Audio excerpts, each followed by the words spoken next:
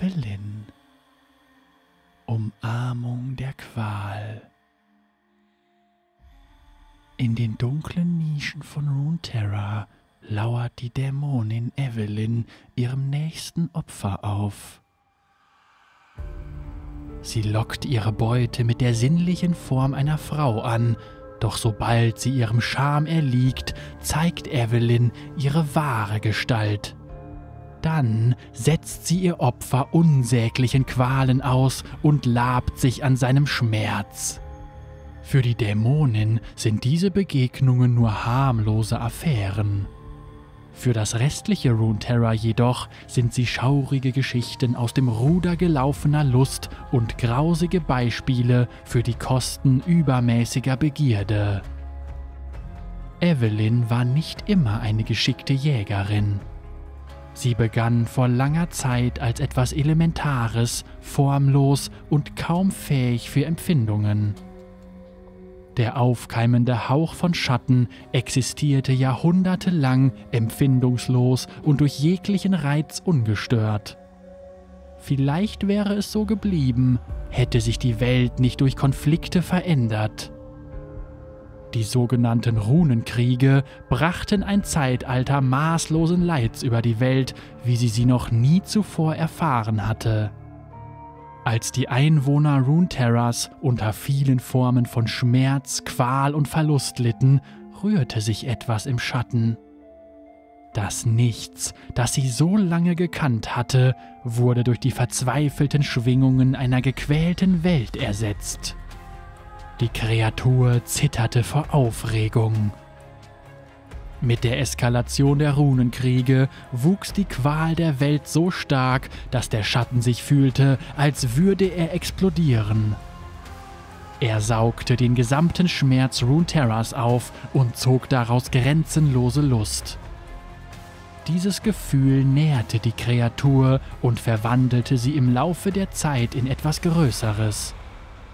Sie wurde ein Dämon, ein unersättlicher, spiritueller Parasit, der von den niederträchtigsten menschlichen Emotionen zehrte. Nachdem die Kriege ihr Ende fanden, schwand auch das Leid auf der Welt und ein Gefühl der Verzweiflung ergriff den Dämon. Das einzige Vergnügen, das er kannte, zog er aus dem Elend anderer. Ohne ihren Schmerz fühlte er nichts, wie damals in seinem Urzustand. Wenn die Welt ihm nicht das Leid bescherte, an dem er sich laben konnte, so musste der Dämon es eben selbst herbeirufen. Er musste anderen Schmerzen zufügen, damit er diese Ekstase wieder spüren konnte.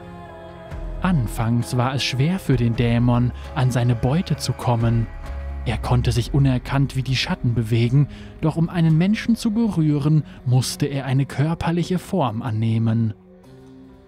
Er unternahm einige Versuche, seine Schattenform in einen Körper zu verwandeln, jedoch wurden seine Ergebnisse immer grauenhafter und verscheuchten seine Beute.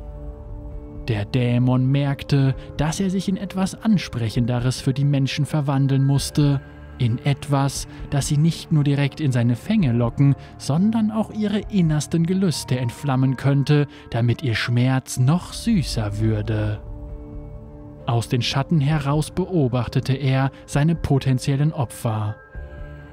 Er passte sein Aussehen an ihre Vorlieben an, lernte genau das zu sagen, was sie hören wollten und wie er sich verführerisch zu bewegen hatte. In wenigen Wochen hatte der Dämon die körperliche Erscheinung einer verführerischen Frau perfektioniert und lockte Dutzende betörte Opfer in seine Hände, die er dann zu Tode folterte.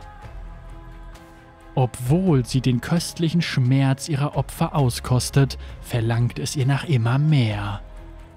Die Gelüste der Menschen sind so klein und sie halten nicht lange an. Ihr Schmerz ist zu flüchtig, als dass er mehr als winzige Lusthäppchen sein könnte und sättigt sie gerade bis zu ihrer nächsten Mahlzeit.